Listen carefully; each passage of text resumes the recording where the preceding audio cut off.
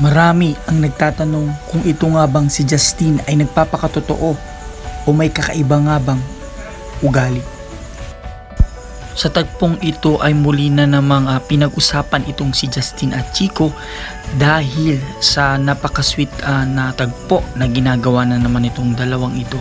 Habang ito namang si Justin ay tuwang-tuwa at nag-request nga kay Chico na halikan siya. Ayan, kung makikita nyo yung mga litrato, makikita nyo yung ah, sweetness overload ng dalawa. Ito namang si Justin ay tila may pagtingin na rin kay ah, Chris kaya't sinabi niya kay Chico na kung okay lang ba na minsan ay kay Chris naman siya maglalambing. At habang tumatagal ang ah, pag-stay nila sa bahay ni Kuya ay tumatagal din at palalim ng palalim ang mga tagpo at mga ginagawa nitong si Justin at saka itong si Chico.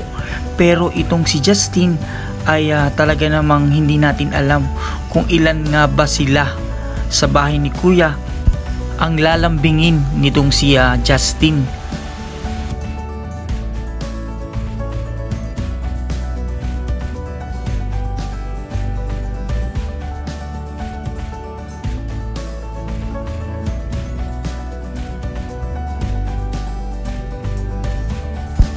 Kahit itong si Kismar ay hindi nakaligtas kay Justin. Kung makikita nyo sa litrato, napakalambing nitong uh, si Justin kay Kismar.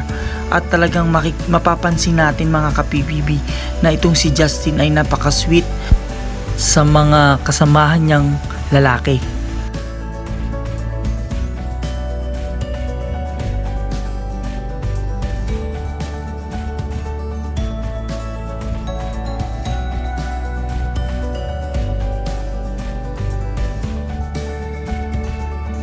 At kasunod nga ng usap-usapan sa paghalik ni Chico kay Justin ay dumating na ang bagong housemate na si Ralph.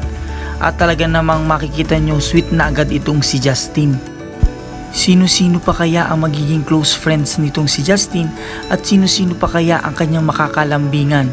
Yan ang ating pakakaabangan mga kadudong The Explorer.